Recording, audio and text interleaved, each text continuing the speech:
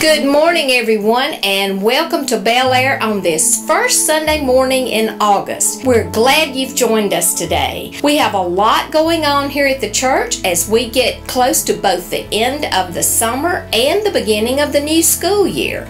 Let's take 80 seconds and get a quick peek of a few upcoming events. After a brief summer break, Praise Choir will resume this coming Wednesday, August 6th at 7 p.m. If you haven't joined before, or if you you've been out for a while, this is the perfect time to jump in. We'll be working on the music for Concert for One coming in late September, as well as starting Christmas music. We'd love to have you there.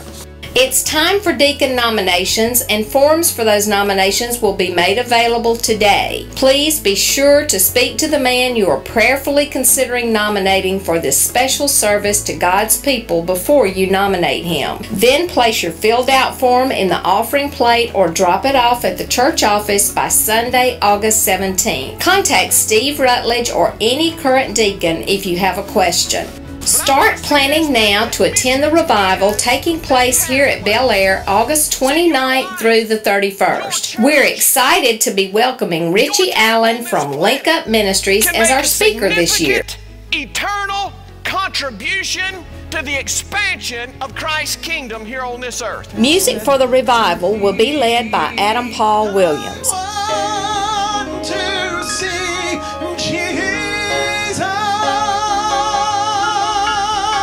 Don't forget to check your bulletin and our website for a complete list of all events and ministry opportunities available here at the church. And while you're there, you can check out video links to past services while you're online. Now let's join together in praise and worship of our Abba Father and glorious Redeemer.